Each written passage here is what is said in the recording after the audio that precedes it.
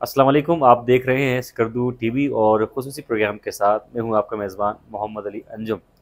IT के शोबे में रोज़ बरोज़ जिद्दत आ रही है और अब आईटी के शोबे से लोगों की कसर तदाद मुंसलिक है और ये शोबा अब रोज़गार के हसूल का भी बेहतरीन ज़रिया बन चुका है। एक अंदाजे के मुताबिक लोगों की कसर तदाद बिलखसूस गिलगित बल्तिस्तान की अगर हम बात करें तो ऑनलाइन मार्केटिंग की तरफ़ और ऑनलाइन अर्निंग की तरफ़ मुतारफ़ हो रहे हैं। आज इसी नोयत के खसूसी प्रोग्राम के साथ मैं हाजिर खिदमत हूँ और आज हमारे साथ बहुत ख़ास मेहमान मौजूद हैं। हमारी पहली मेहमान है शमीम रजानी साहिबा। आप सी ओ ओ हैं जेनेटिक सॉल्यूशंस के और साथ साथ आप बानी हैं कोड गर्ल्स पाकिस्तान की। मोहतरमा, बहुत शुक्रिया आपने हमें वक्त दिया। नहीं जी बहुत वेलकम शुक्रिया मुझे बुलाने का। और हमारे दूसरे मेहमान हैं जनाब आरिफ रब्बानी साहब आप चेयरमैन हैं IT association Gilgit Baltistan chapter के। आरिफ साहब बहुत शुक्रिया आपने हमें वक्त दिया।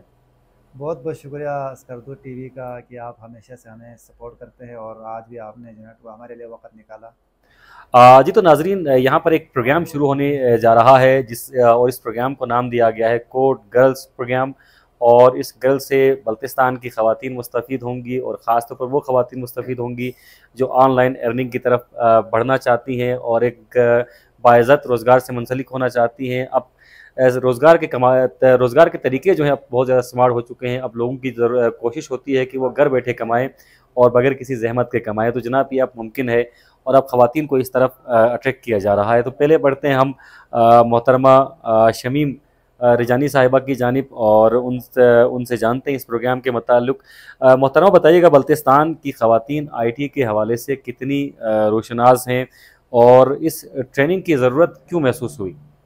मैं वहाँ से शुरू करूँगी कि मैं बल्तिस्तान पिछले दो तीन सालों से, बल्कि तीन सालों से आ रही हूँ और मैंने ये महसूस किया कि यहाँ की ख़वातीन जो है, वो एजुकेशन के मामले में बहुत ज़्यादा आगे हैं, पढ़ी लिखी हैं उनकी कम्युनिकेशन स्किल्स बहुत अच्छी हैं और आईटी की जो उनको यूनिवर्सिटी में ट्रेनिंग मिलती है, उसमें अक्सर बैचलर्स एंड मास्टर्स हैं।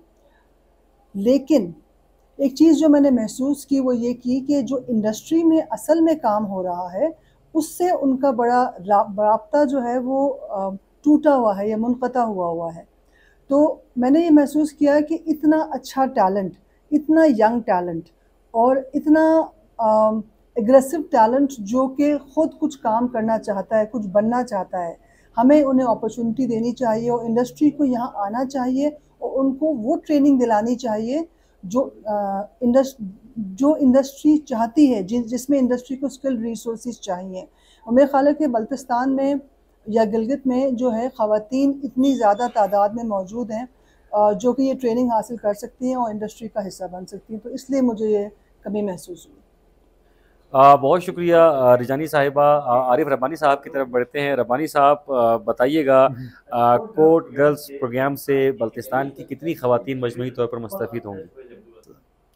कोर्ट गर्ल्स बेसिकली मैं आपको थोड़ा सा इंट्रोड्यूस इंट्रोडक्शन कराना चाह रहा हूँ। बेसिकली हम यहाँ पे ट्रेनिंग्स बहुत सारे इदारे कराते हैं, बहुत सारे लोग मुख्तलिफ़ तरह के आईटी ट्रेनिंग करवाते हैं लेकिन कोड गर्ल्स का ये फ़ायदा है कि वो इंडस्ट्री एक्सपोजर लेवल की जो ट्रेनिंग हो कोड गर्ल्स में एक फ़र्क ये है कि कोड गर्ल्स जो है ना वो इंडस्ट्री लेवल की चीज़ें उन्होंने लाई हुई है जो उन्होंने इंडस्ट्री से ये चीज़ बावर कराई हुई है कि हम उनको क्या चाहिए? वो जी बहुत शुक्रिया आरिफ साहब अच्छा शमीम रजानी साहिबा बताइएगा कोड गर्ल्स प्रोग्राम बुनियादी तौर पर किस नोयत का प्रोग्राम है? इस प्रोग्राम की ज़रा तफसीत बताइएगा और बल्तिस्तान रीजन में आपने इसकी ज़रूरत क्यों महसूस की? कोड गर्ल्स बेसिकली एक ऐसा टेक ट्रेनिंग बूट कैंप है जो हमने 2018 में शुरू किया पर्टिकुलरली ख़वातीन के लिए।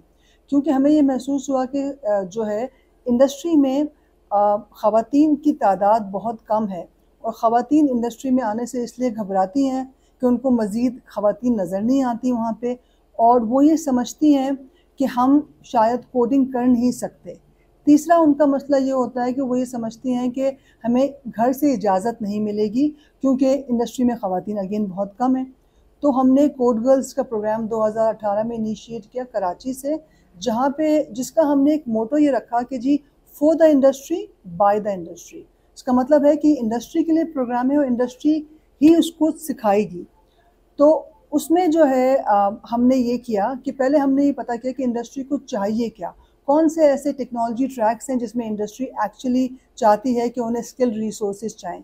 फिर हमने वो स्किल रिसोर्स के लिए कंटेंट बनाया और फिर हमने इंडस्ट्री से ही ट्रेनर्स लिए कि वो आएँ और इन खातन को सिखाएँ।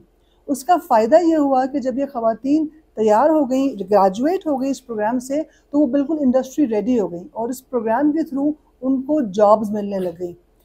तो हम चाहते हैं कि स्कर्दू में भी यही चीज़ हम करें और इसीलिए ये हमारा पहला प्रोजेक्ट है स्कर्दू में, जहाँ पे हम 50 बच्चियों की ट्रेनिंग करवा रहे हैं। इस उम्मीद के साथ कि जब ये बच्चियाँ ग्रेजुएट कर जाएँगी तो फिर जो स्कर्दू की ग्रोइंग या स्कर्दू की जो यंग आईटी इंडस्ट्री है, वो एक्चुअली उनको हायर कर सकेगी और आपकी जो डिमांड सप्लाई की जो प्रॉब्लम है, वो हम रिजॉल्व कर सकेंगे किसी हद तक। जी थैंक यू थैंक यू बहुत शुक्रिया। आरिफ रब्बानी साहब की तरफ़ बढ़ते हैं। रब्बानी साहब आईटी के शोबे में इनकलाब के लिए ख़वान की शमूलियत कितनी ज़रूरी है? इस प्रोग्राम का जो मकसद है, वो आईटी इंडस्ट्री के लिए हमारे जो पॉपुलेशन है, हमारे जो ख़वान की जो पॉपुलेशन है, वो हमारे यूथ के बवंजा फ़ीसद ख़वान है।